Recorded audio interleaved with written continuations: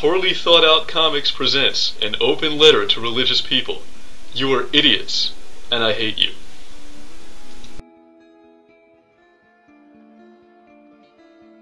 Hold on now.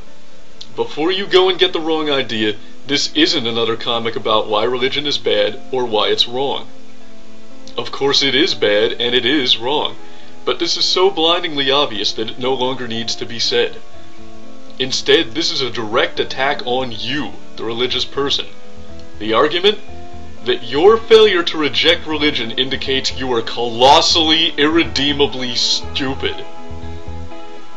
Religion is fundamentally flawed in a staggering variety of ways, to the point that a curious child can bring down the entire framework of baloney with an innocent question.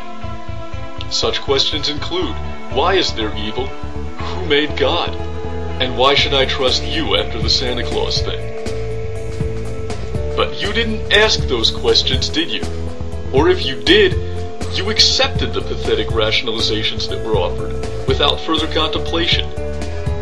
Perhaps you were afraid to ask, or even to think about it. Your comforting little worldview mattered more to you than the truth. But can this critical failure really be blamed on a fear of the consequences of religion being wrong?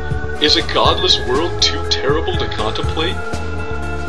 The idea that Santa Claus isn't real is also unpleasant, and this provides a deterrent to disbelief, but not a significant one. God doesn't even bring people presents. In fact, in most religions, he's kind of a jerk.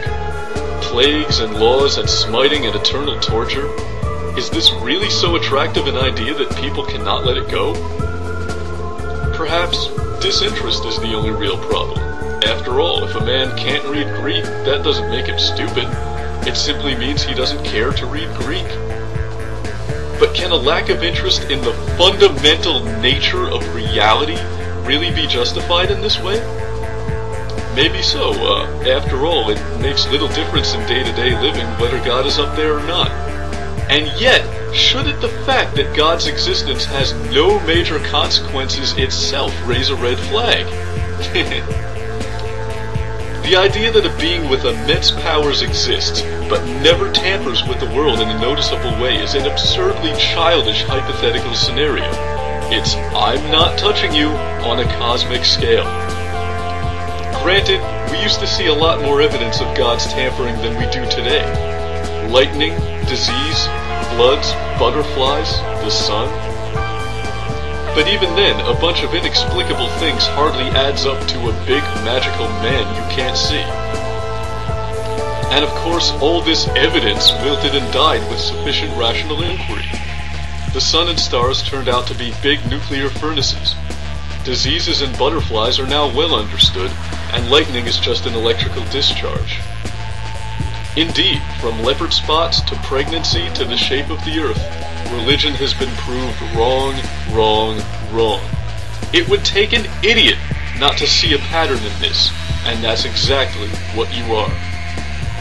The icing on this pathetic cake is that you realize all the other religions are wrong. You just have a blind spot toward your own. Perhaps you have a vague awareness that religion is retarded, but you never really give it up because your thoughts are too disorganized to deal with it. If this is the case, and your mind is a dusty closet of odds and ends, motivational phrases and vacation photos, I have nothing but contempt for you. I refuse to respect religious beliefs, and I refuse to respect people who hold them. Your willful ignorance is inexcusable and it disgusts me.